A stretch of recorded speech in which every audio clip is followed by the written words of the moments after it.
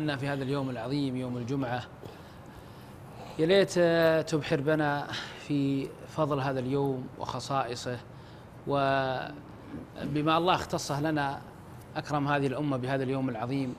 فمعك المايك تبحر بنا في هذا اليوم العظيم. بسم الله الرحمن الرحيم. الحمد لله رب العالمين. صلى الله وسلم على نبينا محمد وعلى آله وصحبه أجمعين. الله عز وجل ذو فضل عظيم.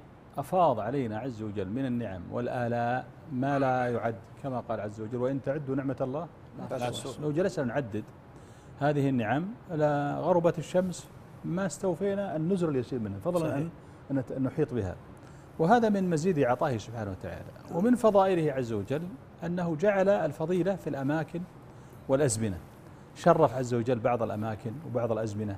لكي الناس تسابق فيها وتهتبلها فرصة المنافسة. ومن هذا هذا اليوم العظيم يوم الجمعة الذي ما أدري توافقوني يا إخواني ولا لا أنه ما عرف الناس قدره حقيقة وما أنزله منزلتها التي أنزلها الله عز وجل. حتى ألف العلماء كتبا في هذا اليوم منهم السيوطي من علماء الشافعية له كتاب نور اللمعة في خصائص الجمعة.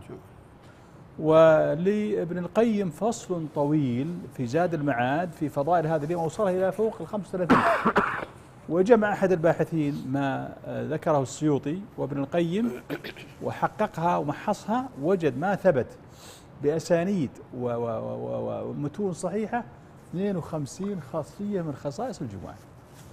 فماذا نقول وماذا ندع في مثل هذا اليوم العظيم؟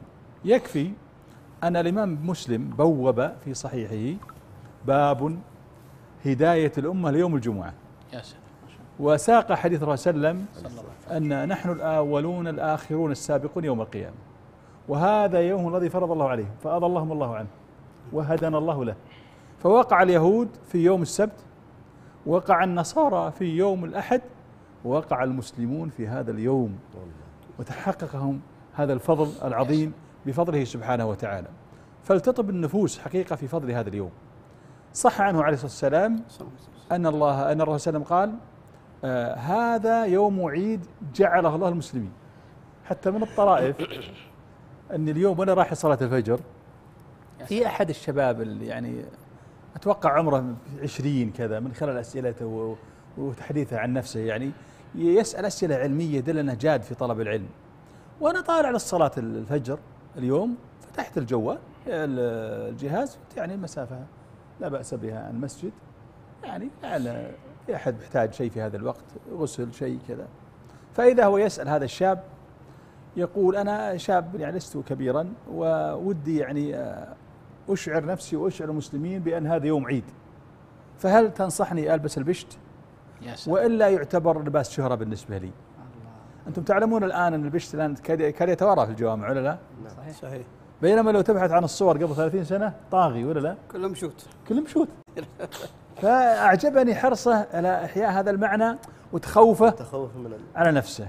فاستدعيت موقف لأحد الشباب وهو لا يعمم أن أحد الشباب كان يهتم بهالبشت يمكن من في نهاية المتوسط وانعكس عليه بشيء من الكبر وشيء من سبحان الله. فقلت شوف يا ولدي أنت أدرى بنفسك إذا أنت تقصد تتقصد أنك تظهر يعني أنه يوم عيد فأنت على خير. لكن إذا لابسك لامسك شيء من العجب وكذا فاترك حتى أن من الطرائف قبل 30 سنة تقريبا يا سلام. كنت في مجلس وكان في أحد المسؤولين اللي يعرفني يعني. وكان بداية الشتاء تعرف بداية الشتاء الواحد ما بعد تحزم للبرد و يا سلام. وجايب اللي بشت يعني أقرب ما يكون شتوي. فهو عاد حساس ومثقف كبير وكذا و وصاحب المجلس جزاه الله خير حاطني في صدر المجلس يعني فجاء وقال هالحين انت لابس البشت يعني عشان البرد ولا شايف نفسك؟ الله. حسب النظرة. قلت لا والله عشان البرد وأنا فعلا جايبه عشان البرد يعني. يا سلام. ما والله ما أنا ما ولا, ولا شيء خاصة لمثلك يعني وكذا. فكان موقف طريف فاستدعيت هذا الموقف وموقف هذا الشاب فقلت لهذا الابن لا بأس. فالرسول صلى الله عليه وسلم يقول هذا يوم عيد على المسلمين. ذلك اعياد المسلمين معروف عيد الفطر وعيد الأضحى والجمعة. هذه حقيقة يعني جولة مبكرة ولا إن شاء الله نواصل الحديث عن هذا يا اليوم سلام يا سلام. بما فيه من أزهار ننثرها في هذا اللقاء المبارك إن شاء الله. بإذن الله بإذن الله. وصراحة يعني مثل ما ذكرت يا شيخي آه، ديننا دين عظيم. والله سبحانه وتعالى يعني لما كرمنا واختصنا واصطفانا وجعلنا من أمة النبي محمد صلى الله عليه وسلم أعطى لهذه الأمة مزايا وخصائص. وكان منها هذا اليوم العظيم يوم الجمعة. يعني وجعل في هذا الأسبوع هذا اليوم فيه ساعات مباركة فيها أوقات استجابة الدعاء. ولعل الشيخ يعطينا التفاصيل فيها بإذن الله في حديثنا اليوم. حيا الله أبو نايف. الله يبديك ويبارك فيك.